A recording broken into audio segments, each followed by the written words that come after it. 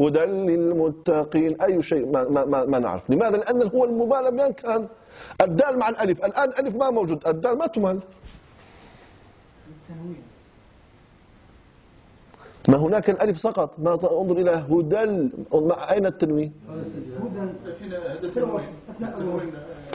سقط الألف لم يبقى صوت الألف موجود صوت الألف؟ ما موجود صوت الألف هو المطلوب إيش؟ صوت الألف ما دام هناك ألف ما موجود ماذا تفعل؟ بقي التنوين وسقط نحن قلنا الإمالة في ماذا؟ قلنا في التنوين أم قلنا في الألف؟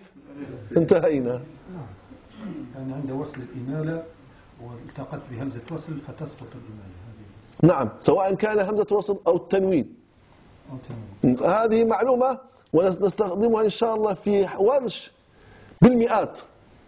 بإذن الله. بالمئات يعني 100 يعني هكذا 100 100 يأتي أمامنا وليس ثلاثة أربعة. بالمئات بالجملة عندنا. كمثال الآن هذا هو شيء حتى ندخل لما نحن نريده يعني ما ذكرناه عبثا. عندنا كلمة في حفص فلما رأى القمر أو أول شيء فلما جن عليه الليل رأى كوكبا شعبة ماذا يفعل؟ يميل الراء مع الهمزة. يقرأها فلما جن عليه الليل رئي كوكبا رئي كوكب رئي كوكبا. يعني تثبت الإيمان وصلا. هذا وصلا وكذلك وقفا. رئي كوكبا؟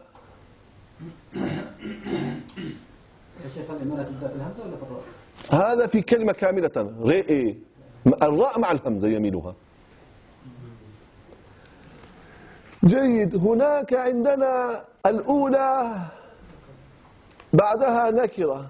كوكبة أما عندنا الآن القمر الشمس. وعندنا كذلك رأي عند الوصل يميل الراء ولا يميل الهمزة. فلما رأى القمر فلما رأى الشمس فلما رأى الشمس بازغة فلما رأى القمر. ولكن عند الوقف فلما رأى القمر. مثال. فلما رأى الشمس. معلومة ولا غير ما واضح؟ وما واضح عندك؟ همزة الوصل.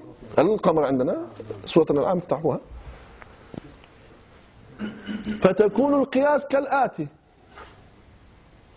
أينما وجدناها هكذا هذه الكلمة رأى تكون بهذه آه، الحالة رآه رآك رأى. كل ذلك تكون ممال بهذا الشروط. الشروط لا تنسوها. عندما نسأل أحدهم بعد سبتين بإذن الله تعالى إذا كان هناك يعني بقاء ولقاء على هذا الكتاب المبين نسأل نقول هناك كيف تكون؟ فأنت تقول ربما أنت تكلمت في سورة الأنعام ونحن هذه السورة والله ما والله ما قلتها. أنا أقول لك قسها لأن نحن نجلس نفتح مصحف ما ننتهي فيها شهرين لهذه الكلمة. شيخ مرة ثانية بالنسبة لما رأى الشمس ورأى القمر هذه تسقط الإمالة ما سقط سقط سقط في الهمزة ما سقط في الراء. يعني إمالة جزئية. النصف لأنه هو الأصل كلمة ممالة ولكن دخل هناك من جعل الأول تسقط ألف ساكن. فما يستطيع هناك ما دام سقط أن يمال همزة بعدها. فماذا أتى, أتى بكلمة بهذا الصوت. فلما رئ القمر رئ انظر رئ حفص القمر نفس الصوت. ولكن في كوكبة هناك نكرة ما بعدها همزة وصل. وتكون وصل كأنه كمثل الوقف. فلما جن عليه الليل انظر رئي رئي كوكبا. فلما جن عليه الليل رئي كوكبا رئي رئي. ليست هي رئي رئي ري ري. لا تأتي بالكسر الكامل. في سورة الأنعام. وإذ قال إبراهيم لأبيه آزر تتخذ أصناما آلهة. في كلمة رأى وما بقية الكلمات؟ المشتقات. رآك. رآه. آه، هذه كلها تكون كالقواعد التي ذكرناها. رآه رآك رأ- رأي- رأيك. تقرأ يقرأها. حتى الكاف رآها. حتى الكاف. كل يميله رأيه ها؟ حتى الكاف. الكاف يميله لا. ألف رئي رئيك انظر الكاف. ما نقول رئيك رئيك رئيك رئي رئي هناك أين انتهى الألف؟ انتهى الإمالة. لأن أصل الكلمة هو الرئة وليست رئيك أدرى وليست أدراك. ما عندنا كلمة أصلها أدراك يعني إلا كاف المخاطب يعني سبحان الله. ما عندنا أي كلمة هذه يعني هذا أستاذ يعلم بهذه المسائل وأنتم كلكم يعني هو الوحيد أنا والأخ والأخ الآخر يعني عجم. وأنتم ما شاء الله أنتم أهل اللغة. نعم. شيخنا لو تقرأ علينا راء القمر يعني بدون حينما تكون إمالة فقط على الراء وصل. فلما رئ القمر. هكذا. فلما رئ القمر بازغا قال هذا ربي. والآخر. فلما رئ الشمس بازغة قال هذا ربي. السبب أن الألف هي تسقط لانتقائها ذكرناها. نقول أن لماذا؟ لأن ولكن في الوقف لو قلنا قف نقول فلما رئي القمر بازغا قال. نفسها الشمس. واضح؟ نعم. لا. لا. لا. هناك أين الألف؟ أرأيت أين الألف؟ أرأيت الذي يكذب أرأيت الذي؟ أرى أرأيت الذي لا ما تكون في نهاية الكلمة. ولكن حتى في-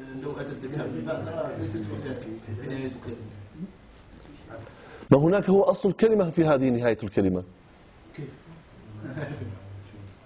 يعني مثال أقول لك مثلا مثال أدراك. هذه أصل الكلمة أدراك؟ أدرى جيد.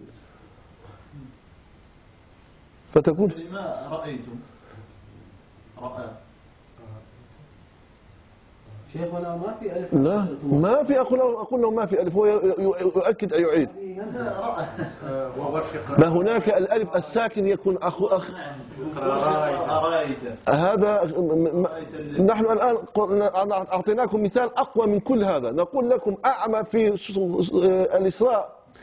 تمال وأعمى غيرها لا يمال. ما الذي ما أنا أقول هناك القواعد هو نقل.